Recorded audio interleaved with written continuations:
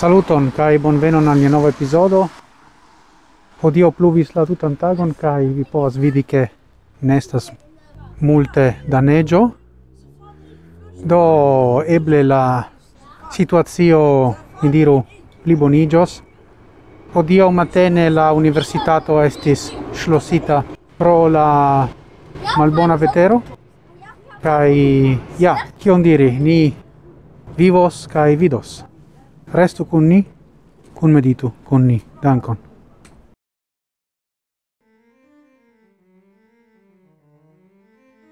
Saluton kai bonvenon alia nova Zamenhof medito.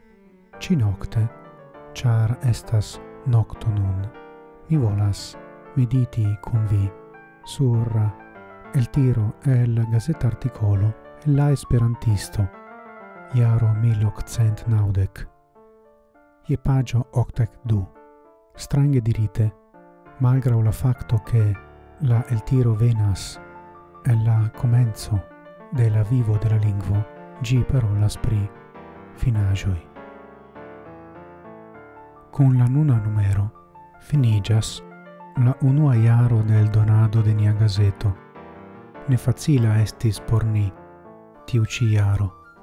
Diversai circonstanzoi ne lasis nin labori tiel, kiel ni volis.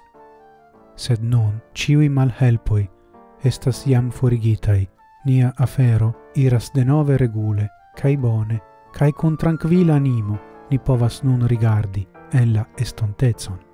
Ni ciam sen lace laborados por nia afero, cae ni ne dubas, che anca ciuin amicoin de nia afero ni ciam fidele trovos sub nia standardo. Cara ciui, mines cias cial, sed mia atento, miai pensoi, cae miai meditoi facte, hodiau, iras circa la concepto de fino, cae de finigio. Cae estas tre interesse trovi ion en la original vercaro quio giuste celas la turnopunkton de unu el la frua jaroj de la lingvo Esperanto.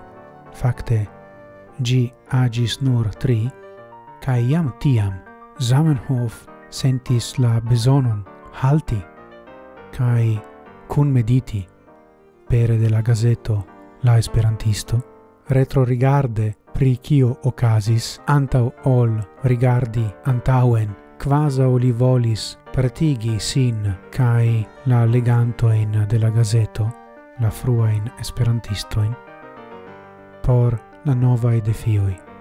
Eble, citiu nova epoco, ciuna non ni ciui vivas malgrau vole, povas esti la ocaso por lerni che por senlace laboradi kiel diris Zamenhof tiam, besonatas giui finigion.